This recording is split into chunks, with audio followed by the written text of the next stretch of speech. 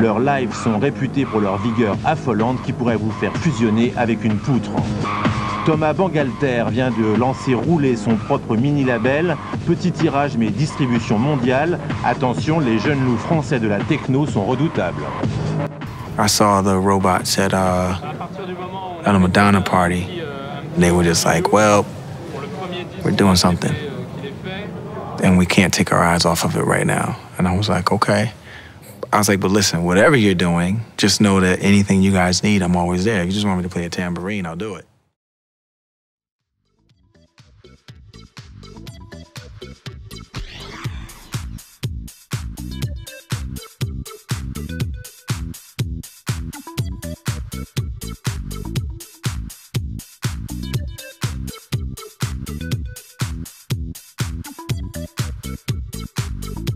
I'm David Guetta, and I'm on the record with Rhapsody. Um, and one day, me being an electronic DJ, um, I heard of a band called Daft Punk. I invited them to play with me in the clubs. And one day, they came with that incredible album, uh, Homework. And that was such a revolution for all of us. Everybody was so proud. I'm a French DJ. I'm a French DJ, and it was like incredible. And I think this influenced the whole electronic world, but also the whole music world. Perfect.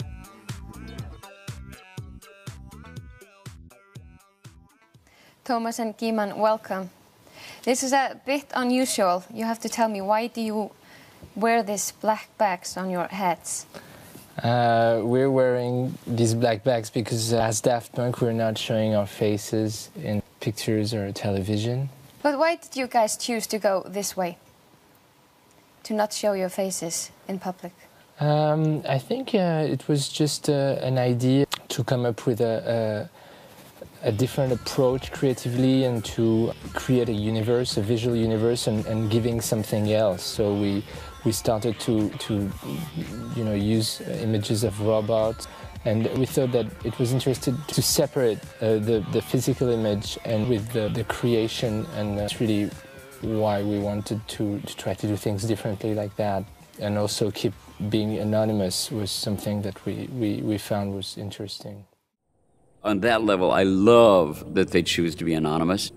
I am deeply respectful of somebody who, who expresses their craft and their art without the hunger for the public attention. They disconnect who they are to allow you to experience what they create.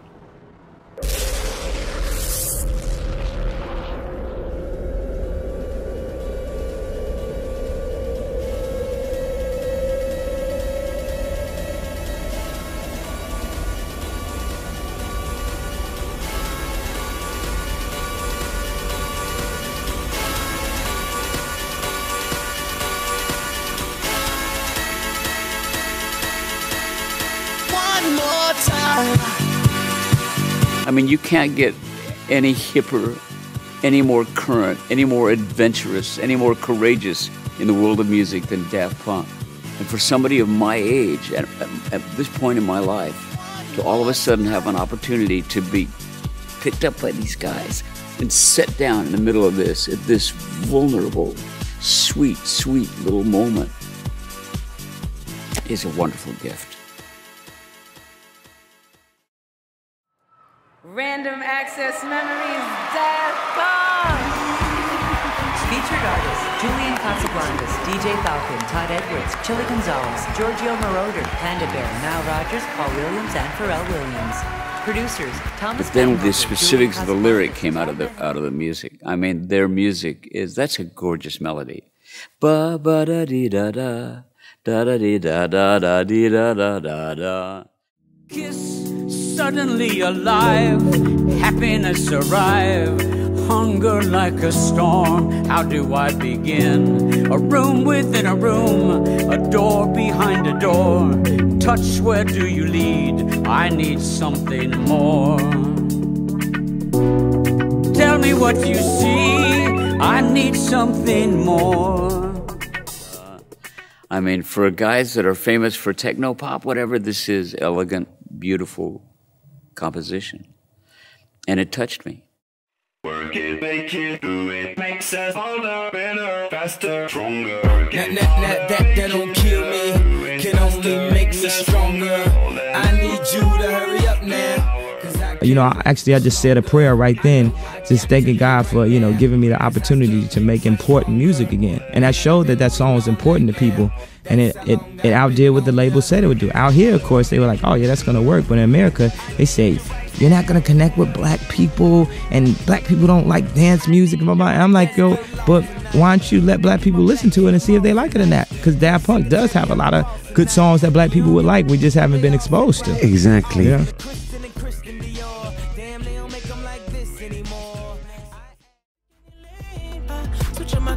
Kill any pain. Look